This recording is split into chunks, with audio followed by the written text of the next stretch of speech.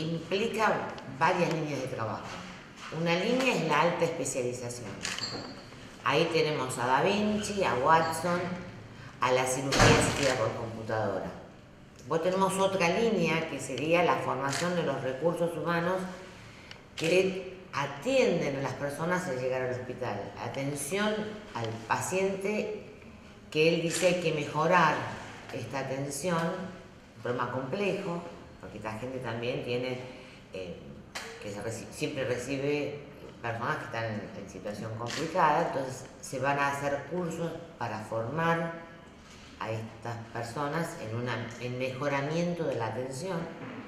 Y después toda una formación universitaria, que tiene que ver con tener mayor cantidad de enfermeros universitarios, especialización. Esto va a requerir que hagamos diferentes convenios. La semana que viene con Silvia vamos a estar firmando varios convenios.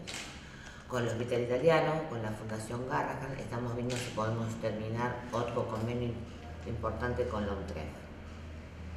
Dentro de esta alta especialización hay todo un tema que tiene que ver con la cirugía asistida por computadora. Esto tiene varios subítems. Uno de ellos es la impresión 3D que sirve para preparar una, cirugía o sirve para tener un mejor diagnóstico.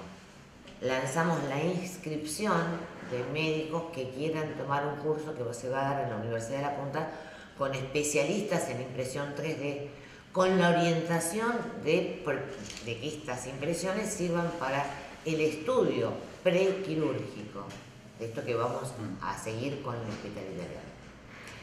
En este curso eh, va, a haber una parte que va, van a ser eh, cirujanos y especialistas que trabajan en el ámbito público y quedan además abiertas 20 vacantes para médicos que están fuera del sistema de salud pública, porque también queremos que el resto de los, sistema de salud, no solamente el público, tenga una mejora en todo esto que estamos encarando como complemento o como una parte integral del nuevo, del nuevo hospital.